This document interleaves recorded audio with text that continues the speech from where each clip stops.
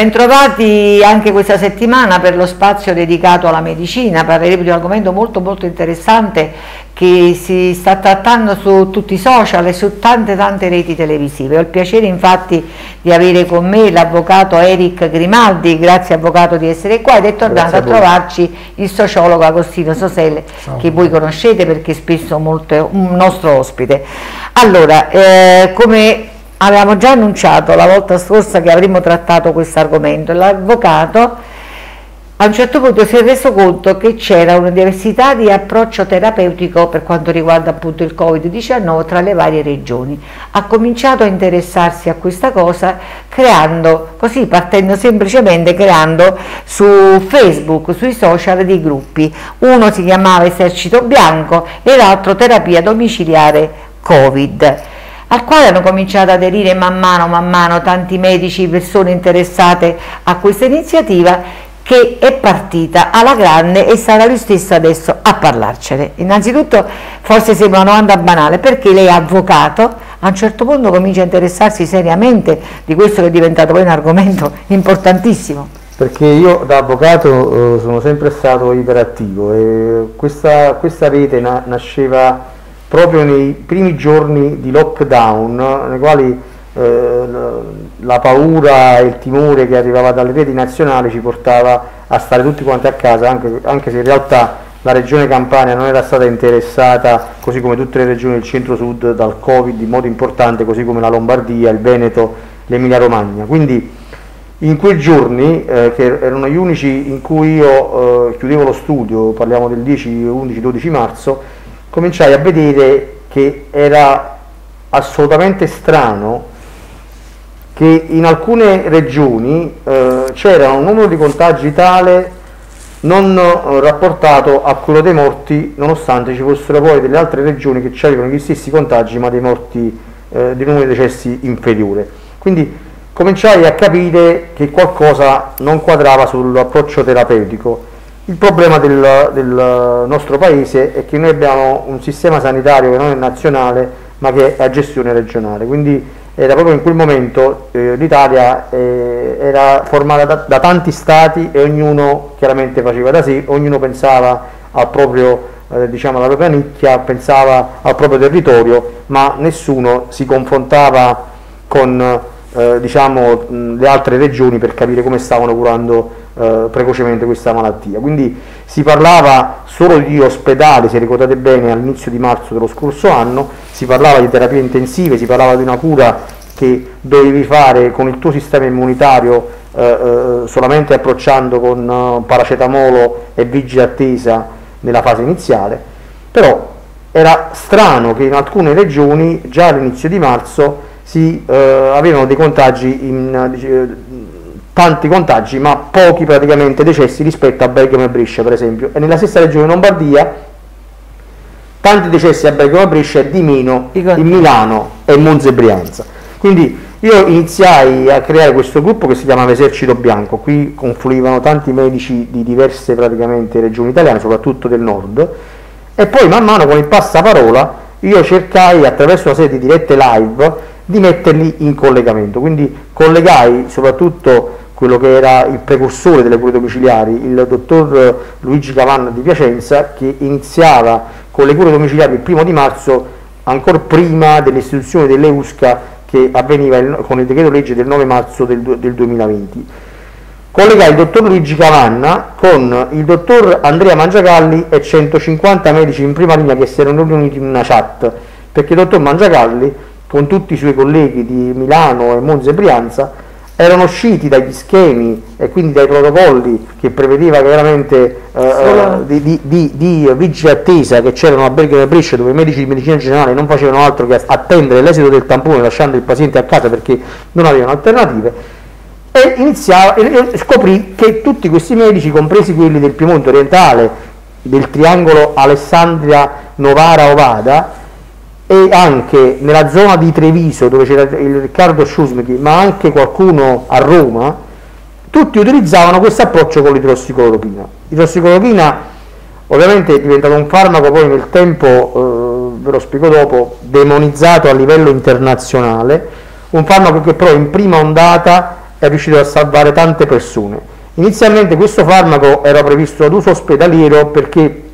proprio all'inizio di questa emergenza sanitaria non era proprio stato previsto un protocollo di cura domiciliare perché il paziente doveva curarsi in ospedale, quindi come pensavano di poter curare tutti questi pazienti positivi sintomatici nei reparti di degenza e poi in terapia intensiva. E quindi hanno c'è stato l'orientamento verso le case? Verso, no, non c'è mai stato un orientamento ah, verso prima. le case. Quindi tutti andavano verso l'ospedale. Cosa facciamo in ogni regione? stanziamo dei fondi per implementare i reparti di degenza, i capannoni a Milano, alla Fiera. Hanno fatto tantissime cose, anche noi qui all'ospedale del mare abbiamo fatto i reparti di terapia intensiva che poi non sono stati molti completati.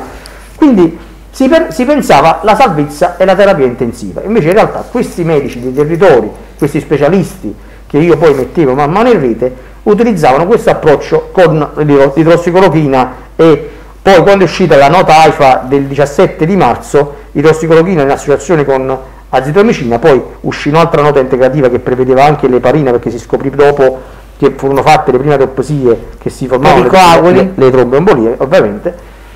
e quindi io iniziai a creare tutta questa rete e mettevo in collegamento i medici loro. Dopo aver capito che ci stava quest'altro approccio terapeutico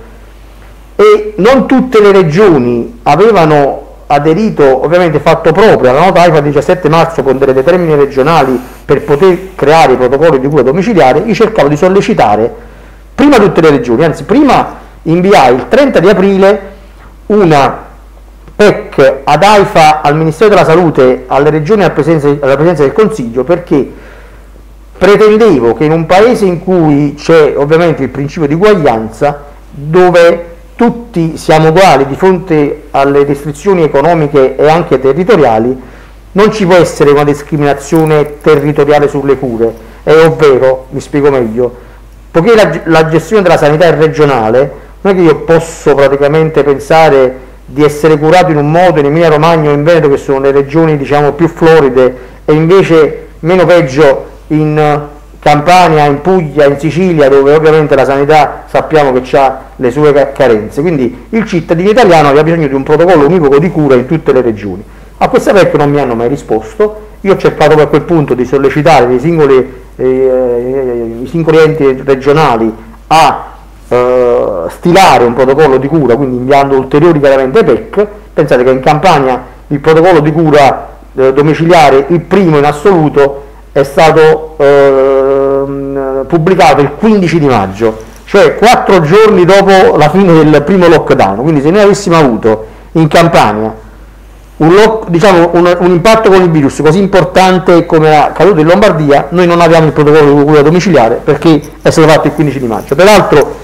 in quei giorni quando fu redatto questo, questo protocollo io intervistai anche all'epoca quella che era responsabile dell'unità di crisi e dissi guarda avete previsto un esito del tampone in 24-48 ore massimo 72 io vi dico che in questo momento potete farlo anche in 24 ore forse diciamo dare l'esito del tampone perché all'epoca si mandava lo Spallanzani per farlo esaminare ma se voi cadete in una seconda ondata con 2000 contagi, 3000 contagi, 4000 contagi, avrete un'altra volta reso del tampone a 7, 8, 10 giorni e sarà impossibile gestire un approccio precoce se voi attendete l'esito del tampone per cominciare a curare le persone. Quindi io già nel mese di maggio, aprile, avevo impugnato al TAR del Lazio la determina della Regione Lazio che prevedeva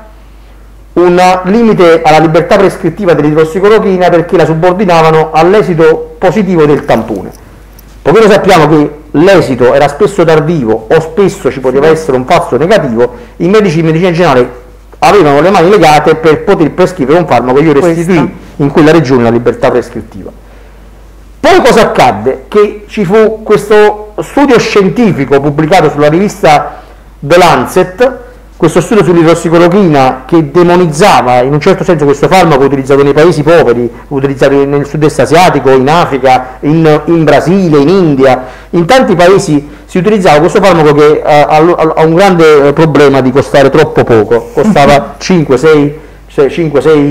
euro. Quindi questo farmaco inizialmente in Italia utilizzato in ospedale, si cominciò ad utilizzare a casa, però poi ci fu questa pubblicazione su questa rivista scientifica di questo studio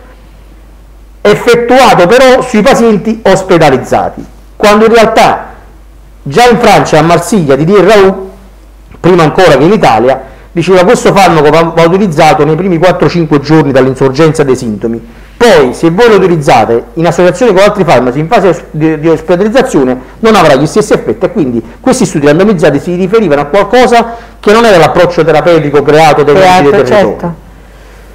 Ci fu una grande contestazione in tutto il mondo e 120 ricercatori cominciarono a contestare questa, questa pubblicazione fatta su The Lancet. Nel frattempo io con 140 medici del nostro gruppo inviai un'istanza d'accesso agli atti all'AIFA per comprendere perché era stata sospesa la sperimentazione, perché prima l'Organizzazione Mondiale della Sanità e poi la stessa Agenzia Italiana del Farmaco, quando parlo di AIFA,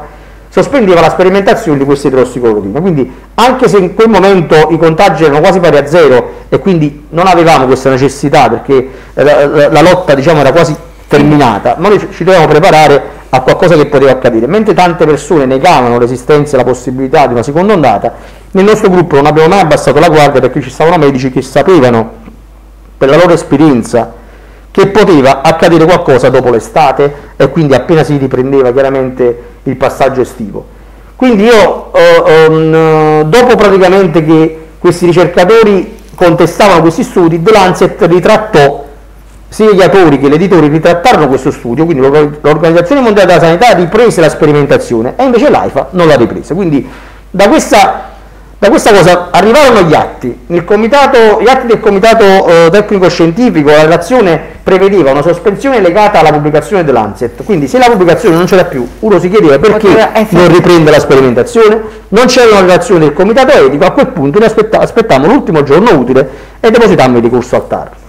Questo ricorso al TAR fu, fu praticamente, eh, ebbe la prima udienza cautelare eh, eh, all'inizio di settembre e ci fu rigettata perché l'AIFA depositava questi studi randomizzati che spiego sono degli studi diciamo, che a livello scientifico hanno più valore rispetto a quelli osservazionali o di meta-analisi e quindi nella, nel, diciamo, nel, nella, nel campo scientifico medico vengono presi in considerazione gli studi randomizzati per dare l'efficacia o meno di un farmaco che possa funzionare o meno. Quindi l'AIFA depositava questi studi randomizzati effettuati su pazienti ospedalizzati e il TAR senza approfondire ricettava l'istanza cautelare. A quel punto io che avevo fatto fino a quel momento, avevo creato questa rete di medici solo in Italia, cominciai ad approfondire verso l'estero, quindi iniziare una serie di dirette live con medici eh, anche africani, con medici del Brasile, quindi di Rio de Janeiro, dei professori universitari, cominciai a fare delle dirette live con. Harvey Risch è un professore di epidemiologia dell'Università di Yale che non solo pubblica sulle riviste scientifiche internazionali più importanti, ma è quello che insieme a Peter McCullough ha portato la questione dell'idrossiclorochina sui banchi del Senato americano e quindi contestando quelle che erano le affermazioni di Fauci. Harvey Risch si è legato alla nostra rete, mi cominciò a dare una serie di informazioni sulle riviste scientifiche, sulle pubblicazioni scientifiche che lui aveva effettuato, ma soprattutto mi spiegò che nel momento di emergenza sanitaria non era possibile per i medici effettuare degli studi randomizzati in fase precoce domiciliare soprattutto perché i medici durante una emergenza sanitaria devono pensare o a curare il paziente o a fare gli studi, quindi poiché è più importante curare a casa i pazienti, non c'è tempo per questi studi, ma soprattutto lui riteneva che in un'emergenza sanitaria il medico deve avere la libertà di poter prescrivere in scienza e coscienza, secondo la sua esperienza clinica e secondo il giuramento di Ippocrate, tutti quei farmaci che possono essere un'arma in più contro questo coronavirus, visto che non c'è una cura certa per lo stesso. Quindi questa è stata la storia fino a quando io ho conosciuto Arbelish. Nello stesso periodo mi rendevo conto che tanti territori, come anche la Campania, non avevano, avendo abbassato la guardia, non avevano implementato quelle che erano le unità speciali di continuità assistenziale, le famose USCA. USCA, istituite con decreto legge del 9 di marzo del 2020, dovevano essere una ogni 50.000 abitanti, ogni USCA doveva avere 10 medici esperti, le stesse USCA avrebbero dovuto avere l'ecografo portatile per andare a domicilio delle persone e fare l'ecografia. E invece noi ci trovavamo. Un USCA ogni 100.000 abitanti. Avevamo delle USCA e ancora oggi abbiamo delle USCA che l'ecografo non ce l'hanno, non hanno praticamente tutti gli strumenti per fare delle analisi più approfondite, ma hanno semplicemente il saturimetro che è un apparecchio che tutti hanno a casa oramai, perché oramai certo, sì, noi diciamo da, da, un anno che tutti dovevano avere questo saturimetro per controllare l'ossigenazione e capire attraverso l'ossigenazione anche le varie fasi della malattia. io sono un avvocato, non un medico, ma chiaramente stando a contatto con tanti medici oramai conosco quindi, bene quindi, tutta la storia. Quindi che succede? Che quando capisco che non, non erano stati rafforzati adeguatamente i territori, e, e perché rafforzare i territori significa mettere nelle condizioni il medico di medicina generale di dialogare con le USCA, perché il medico, secondo quelli che erano ovviamente i DPCM vari che sono usciti nel tempo, non doveva visitare a domicilio, questo spettava alle USCA, ma se le USCA non venivano implementate a dovere, mancava quel raccordo per andare a casa del paziente nei termini necessari per iniziare una cura precoce. Quindi il, medico, il, il, il paziente contattava il medico, il medico lo inseriva in piattaforma e passavano le prime 48 ore, mentre andava a casa del, del, del paziente passavano 4-5 giorni, quindi quei 4-5 giorni importantissimi per iniziare quella famosa cura precoce della quale parlavano i medici come Cavanna, Mangiagalli, Caravelli, non, eh, poteva, essere... non poteva essere effettuato. Quindi che succedeva? Capito questo è compreso... Eh, cosa è cambiato a questo e, e noi abbiamo utilizzato questo gruppo Facebook, poi confluito nel Comitato Cura Domiciliare Covid, del quale sono fondatore e presidente a livello nazionale, che adesso sta avendo anche rapporti internazionali con l'estero. Io parlai con i medici e pensai dobbiamo creare qualcosa che non faccia collassare gli ospedali o che aiuti gli ospedali a non collassare. Quindi trasformavo questo gruppo in un gruppo fatto e formato da medici che si confrontavano in un gruppo che aveva anche il paziente positivo sintomatico all'interno, quindi il gruppo si chiama terapia domiciliare Covid-19 in ogni regione. E l'altro esercito bianco. In questo gruppo com- cominciavano a confluire dall'inizio di settembre una serie di pazienti positivi sintomatici e quindi io a un certo punto ho creato proprio una struttura piramidale, quindi ci sono una trentina di moderatori che analizzano i post sospesi, pensa che da oggi da 20.000 membri che eravamo ad agosto siamo arrivati a oltre 220.000, quindi è diventata una cosa proprio grande, abbiamo, abbiamo, sottratto agli ospedali centinaia di persone che si sono curate, soprattutto sabato e domenica dove il medico di famiglia spesso non rispondeva perché ci sta la continuità assistenziale, la guardia medica ovviamente non conosce il paziente, non sapeva che farmaco prescrivere, tanti lasciati a casa senza terapia o con il paracetamolo in vigile attesa, tanti che desaturavano sotto 95, 93, 92, si cercava di evitare l'ospedalizzazione, certo. ma soprattutto io ho avuto l'intuito, che forse è stata la prima volta in Italia, di mettere insieme, chiaramente da avvocato, non, sapendo, non conoscendo le dinamiche, mettere insieme medici dei territori e medici ospedalieri, perché facendo confrontare gli ospedali e i territori c'è stato quel confronto importante per dire curiamolo in questi termini. Quindi che succedeva? Che sotto un post che veniva approvato e poi gestito dai moderatori, che poi taggavano i medici, si poteva andare allo stesso momento dal medico di medicina generale al cardiologo, al pneumologo, al, all'anestesista rianimatore che ovviamente dicevano in questo momento forse è necessario fare l'eparina, forse adesso devi fare il walking eh, test per, perché, perché non c'hanno il saturimetro, quindi siamo riusciti a gestire in parte l'emergenza, tanto da essere etichettati dal Corriere come la terza via, perché abbiamo creato questa sorta di cuscinetto tra territorio e ospedale.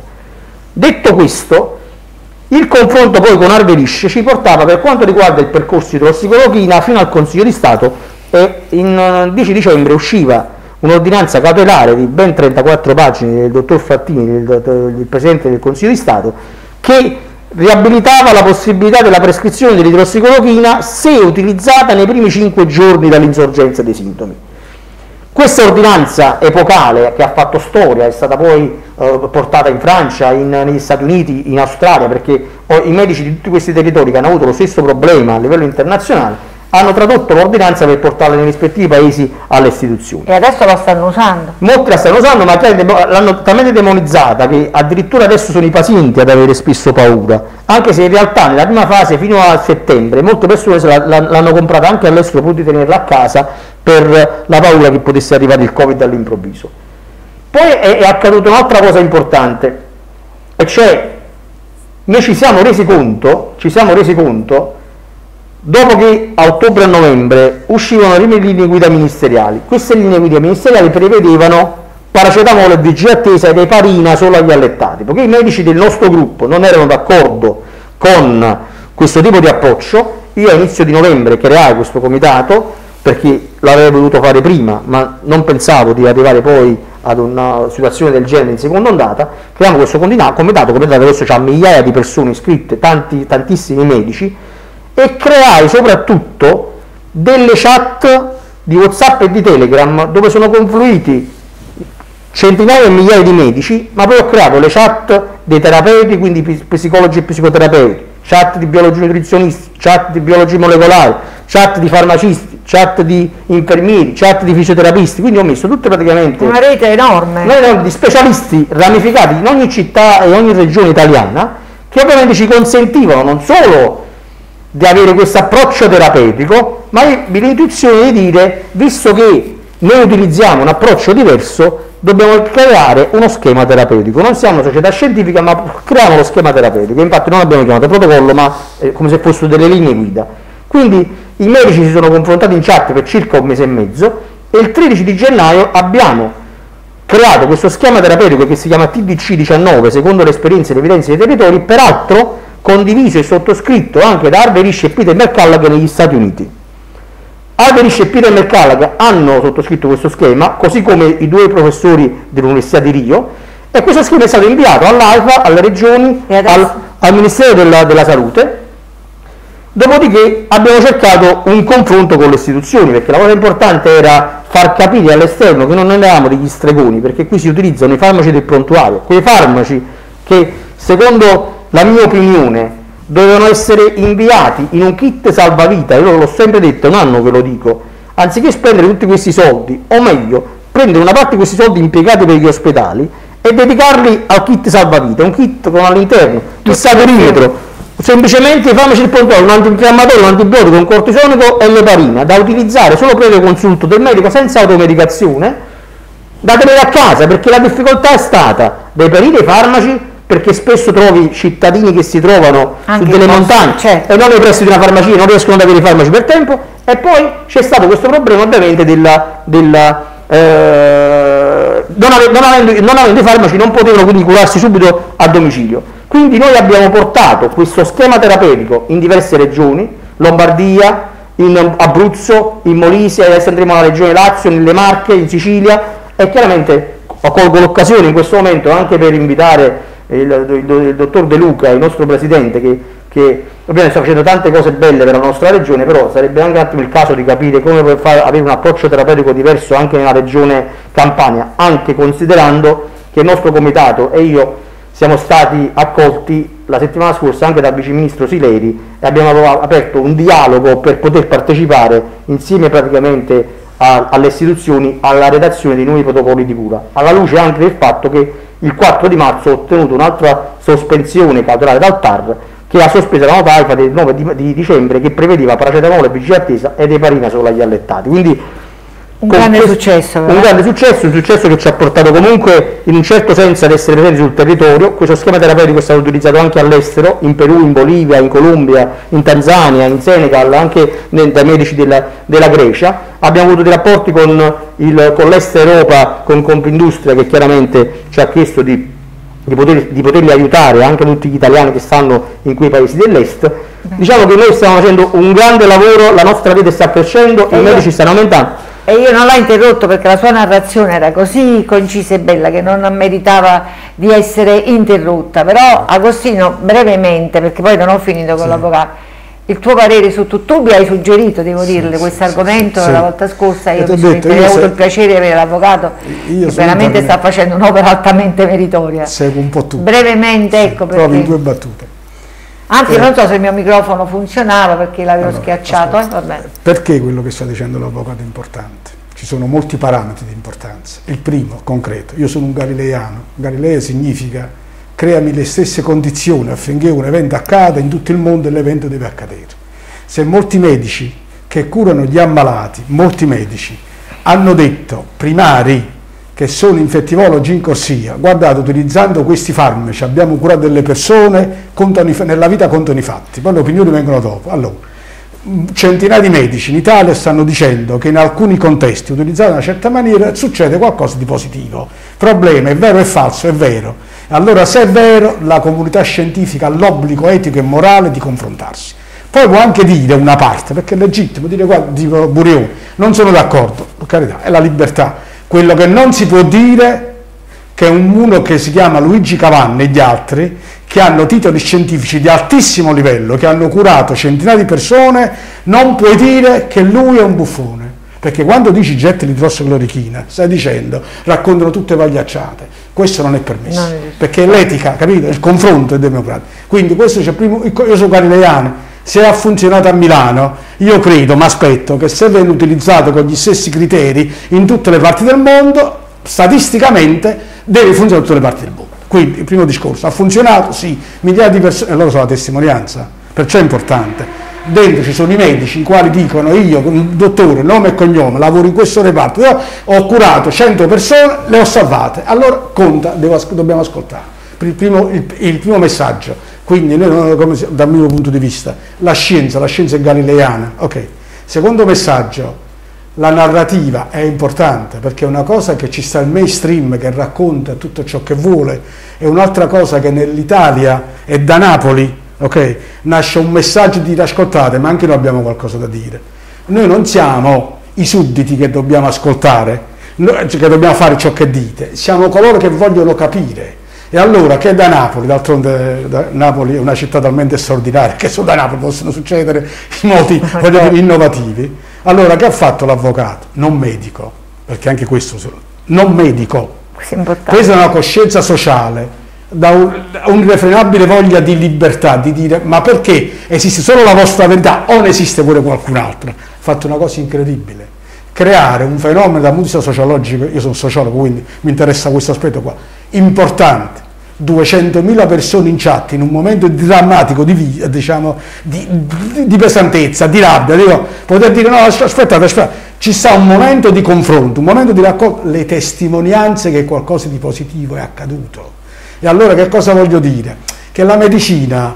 è vero che si basa sul sapere scientifico, ma è democratica non esiste che tu vai nella televisione e racconti la tua visione e io acriticamente devo dire di no, dico ma esiste un'altra possibilità di interpretare? Io non dico che tu dici falso, mi faccio un'altra domanda. Esiste un'altra possibilità di interpretare lo stesso fenomeno? Vado a verificare, perché? Perché siamo gente intelligente, gente che abbia vissuto, è sempre come è colto il virologo, è colto l'avvocato, è colto il sociologo, è colto il professore, capite? Cioè voglio dire, non, non possiamo essere trattati come se fossero bambini ignoranti. Che Insieme si va lontani, eh, da soli da eh, nessuna eh, parte. Poi da un punto di vista proprio di libertà, eh, scusate, la libertà, qua sta succedendo cose serie, ve lo dico perché stanno mettendo in discussione l'esistenza di alcuni siti web, i quali giustamente vogliono raccontare, senza esasperazione, i Novax, per quando mi riguarda sono folli, li devo anche prendere in considerazione, li rispetto ma non prendo in considerazione. Parliamo di cose serie, parliamo di vaccini, parliamo, parliamo di istoclorochine per dire un farmaco. Prendiamo il farmaco, è indicatore di cosa? È indicatore di libertà. Questo Però, è il io eh, dico una cosa, il nostro approccio terapeutico cioè quello che si deve capire è che le cure, che le cure precoci salvano la vita. Non sono li, solo l'idrossiclorochina, sì, sì, lo so. ci devono mettere a disposizione qualsiasi sì. arma infatti parlava di cioè, si possa utilizzare in fase precoce a casa. Tanto è vero che noi abbiamo chiesto come comitato cura domiciliare Covid anche ad AIFA di sperimentare ivermectina e colchicina, che sono altri due farmaci utilizzati in, in, fase precoce sia in Brasile che negli Stati Uniti che anche in Cile e in altri paesi e non si comprende perché in Italia ancora i medici lo devono fare fuori dalle linee guida, assumendosi delle responsabilità. Perché non darci delle... se questi farmaci non sono dei farmaci rischiosi, perché non dare la possibilità a un medico di utilizzarli in fase precoce e lasciare il paziente a casa con paracetamolo e vigile attesa? Cioè, prendere un antinfiammatorio se ti vengono dei sintomi, tu, ogni giorno se ti viene un mal di testa lo prendi un antinfiammatorio, perché non prendere un antinfiammatorio se ti vengono dei sintomi di sospetto Covid? Era questo che dicevano i medici, iniziare a prendere l'antinfiammatorio, poi ti aumenta la febbre, prendi l'antibiotico, io penso che nessuna polmonite al mondo si è mai curata con la e BG attesa, e questa è la verità. Cioè oggi di fronte a un virus così grave. Sai perché non quadra? Te lo dico subito, perché eri ecco diciamo l'avvocato Fabiano fatto, per me ha fatto una rivoluzione veramente? Dico, passerà perché, la storia eh, questo cioè, avvocato? cioè perché è grossa la cosa che, che ha non fatto è un medico soprattutto non è un medico. sociologo, proprio grosso. Dico, vedi ci sono due fatti su una mano mettiamo la scuola di Comborio per dire diciamo un sistema per cadere Io mi sarei aspettato questo, da uomo di buonsenso. Da, dico scusa, il professore Cavanna per dire lui Mangiagallo, questi altri centinaia di professionisti che già hanno sperimentato e con risultati positivi. E c'è un'altra scuola di medicina. Cosa mi sarei aspettato in un'Italia democratica? Un luogo di incontro, scusa, dove gli scienziati, gli uomini si, si incontravano, guarda, fammi sapere cosa hai fatto, cosa hai fatto, in quale condizione l'hai fatto, dopodiché si fa una riflessione. Se questo non succede, rimango molto male, rimango molto dispiaciuto perché c'è un pregiudizio e quando si lavora con i pregiudizi non c'è mai libertà, questo è il concetto. Bene, allora invece torniamo al nostro avvocato. Eh, la rete del coraggio, un libro che ha scritto appunto su tutto ciò Valentina Picaro. Valentina Riga, eh, Rigano eh, è la nostra portavoce, la portavoce del, del nostro comitato, quindi abbiamo una, diciamo, un vero e proprio è strutturato il comitato, abbiamo un consiglio scientifico formato da Cavanna, Mangiagalli, Sciusmic, il professor Serafino Fazio, il professor Sergio Grimaldi di Napoli, il, il, il dottor Salvucci che è un cardiologo di Pavia. Abbiamo questo consiglio scientifico, abbiamo questa portavoce che è Valentina Rigano e Valentina ha scritto un libro che si chiama La rete del coraggio proprio per dare spazio a tutti questi medici che sono usciti fuori dalle linee guida curando a distanza e se necessario a domicilio, perché prima si dà un rapporto in telemedicina in questo gruppo attraverso l'approvazione del posto che poi i moderatori lavorano, ci sono tanti moderatori che lavorano gratuitamente, tutto gratuito, cioè quello che è importante dire è che noi abbiamo creato una struttura piramidale sanitaria gratuita a disposizione dei cittadini che ovviamente adesso in parte non sono più, non sono più in quell'ansia del Covid, cercano di ripartire perché se si riparte dalle cure domiciliari, dalla possibilità che tu dici io una cura ce l'ho, riparte il paese, riparte Quindi l'economia. si possono mettere in contatto con voi medici, persone Soprattutto l'appello mio è, è per i medici. Mm. La rete del coraggio, scrive Valentina, allora io dico tanti medici che ci ascoltano, ci possono dare una mano, partecipare a questa praticamente grossa opera di solidarietà, che noi stiamo praticamente portando avanti. Basta entrare nel nostro gruppo terapia domiciliare Covid-19, confrontarsi nelle chat con i colleghi fa sempre bene perché tanti casi potete avere anche voi e portarli in una chat anziché contro, confrontarvi al telefono con il primo vostro collega che capita, confrontarsi con migliaia di medici in una chat è è una cosa importante oggi con una malattia sconosciuta come il Covid, ma poi in ogni caso potete fare una cosa così bella che la solidarietà, quel tempo da dedicare agli altri, ai cittadini, quello che sto facendo io da un anno gratuitamente, sottraendo tempo alla mia professione e alla mia famiglia. Vi ringrazio solo per questo. Grazie a voi invece di questo intervento molto molto importante, ringraziamo l'avvocato e il sociologo Agostino, voi per l'attenzione e alla prossima.